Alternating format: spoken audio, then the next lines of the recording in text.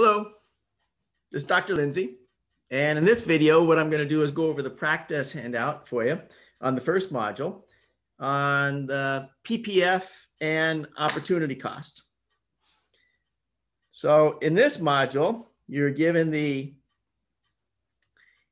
information. The society can only produce two things, pizzas and pizza ovens. And if we draw this, we'll put pizzas over here and ovens over here. It doesn't matter which one uh, you put on what axis. But if we were to make nothing but pizzas, we would make 75 million. If we were to make nothing but ovens, we would have 20,000 ovens, which we'll say is right here. And the PPF should look something like this when you draw it, showing that it's got this bowed out shape, which is because of increasing opportunity cost. So what's the cost of producing 15 million pizzas? Well, it's 20,000 pizza uh, ovens minus 18,000 pizza ovens. So it should be 2,000 pizza ovens. And the next question, suppose we're currently producing 60 million pizzas and 6,000 pizza ovens. That means we're at this point right there. What's the cost of producing these 60,000, 60 million pizzas?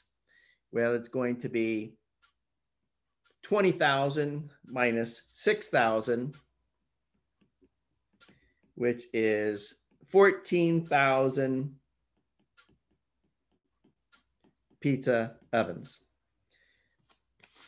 And in number four, what's the cost of producing 15,000 pizza ovens?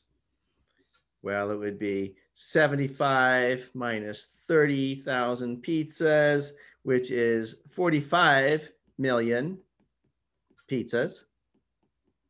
Is it possible to produce 20 million pizzas in 18,000 pizza ovens? No, it's not. It's outside the PPF. Possible to produce 20 million pizzas in 15,000 pizza ovens? Yes, it is possible, but we're on the inside of the PPF, which means it's not efficient. So, in the next question, no, it's possible but it's not efficient. That means if we're inside the PPF, there are some workers that aren't making pizzas and some pizza ovens that aren't being used.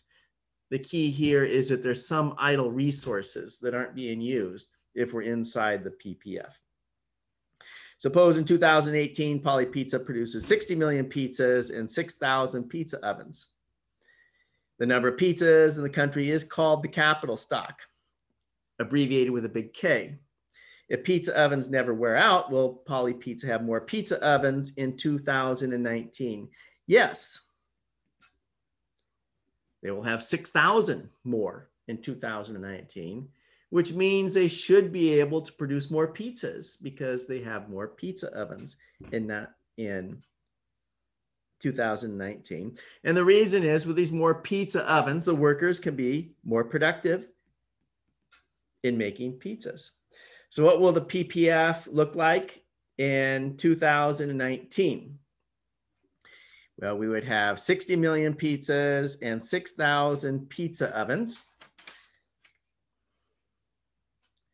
So we're right up here somewhere on the PPF. And that this is 2018 PPF. That means in 2019, the next year, we should be able to make more pizza ovens.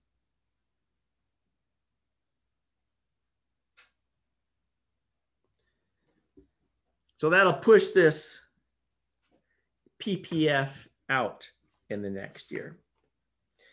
Would your drawing be different in 2018? Polly Pizza produced 15 million pizzas and 18,000 pizza ovens. Well, if in 2018 we were down here, if that was the choice, this many pizzas and that many ovens. We're making a whole lot more ovens than in the first choice. That means at this choice, we should be able to make even more pizzas in 2019. So that would shift this curve out even more, something like this. So this blue point on 2018 would make that blue PPF, the PPF in 2019. So it would push it out even further because it would